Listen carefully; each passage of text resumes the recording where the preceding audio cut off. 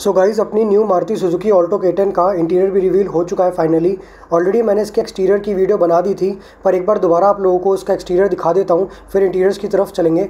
सो so ये रहने वाली अपनी new 2022 Alto K ten and उसकी बैजिंग आप यहाँ पे देख सकते हो. पहले से काफ़ी मैच्योर लुक कर दी गई है अपनी क्यूट सी ऑल्टो केटन की.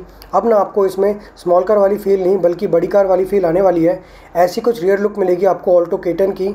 एंड ये रहने वाली है अपनी कार की साइड लुक ओवर और आउटसाइड डोर हैंडल्स पेंटेड नहीं मिलने वाले, इसमें आपको साइड इंडिकेटर्स फेंडर माउंटेड रहने वाले हैं. ऐसी मिलेगी आपको कुछ फ्रंट लुक एंड इसको देख के ना मेरे को सैंट्रो की याद आ रही है, जो हंडा ने डिसकंटिन्यू कर दी है. हेडलैम्प हेलोजन यूनिट रहने वाले हैं. थर्टीन इंच रिम्स रहने वाले हैं with profile 155 65 R thirteen so अब इंटीरियर्स की तरफ़ चलते हैं तो ऑल ब्लैक इंटीरियर्स मिलेंगे इसमें आपको. फ्रंट पावर विंडोज़ नहीं मिलने वाली आपको एलेक्साई में. थ्री स्पोक स्टेयरिंग व्हील दिया गया है एंड अब इसमें आपको फुली डिजिटल इंस्ट्रूमेंट क्लस्टर मिलने वाला है.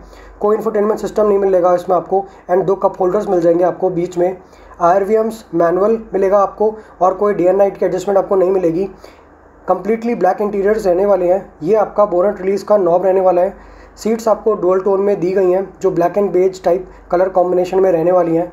सो so, ये था अपना ओवरऑल फ्रंट लुक अब चलते हैं कार के रियर सीट पे। तो यहाँ भी सेम वही फ्रंट की तरह आपको मैनुअल विंडोज़ मिलेंगी। और नीचे रियर में ना स्पीकर ग्रिल भी दे दी गई है इस बार डोर में। तो ये अपनी कुछ आपको लुक मिलेगी अपने एलेक्साई वेरिएंट की ऑल्टो केटन के। रियर सीट में आपको कोई हेडरेस्ट नहीं मिलेंगे और ना ही कोई पार्सल ट्रे मिलेगी आपको इस वेरिएंट में।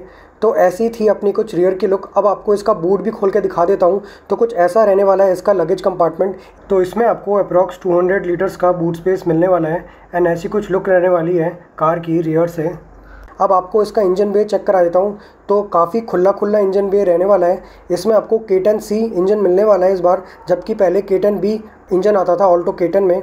तो माइलेज और परफॉर्मेंस थोड़ी ज़्यादा मिल जाएगी आपको as compare to old Alto K ten so guys ये थी अपनी new Alto K ten LXI variant का complete interior and exterior look car 18 अगस्त को लॉन्च होने वाली है एंड इसकी प्राइसिंग अप्रॉक्स साढ़े तीन लाख से छः लाख के बीच रहने वाली है एक्स शोरूम पहले से काफ़ी बेटर लग रही है न्यू ऑल्टो केटन एंड बड़ी भी ज़्यादा लग रही है एज़ कंपेयर टू बिफोर तो अब आपको ना वो छोटी कार वाली फील नहीं, अब इसमें आपको बड़ी कार वाली फील आने वाली है नई ऑल्टो केटन में.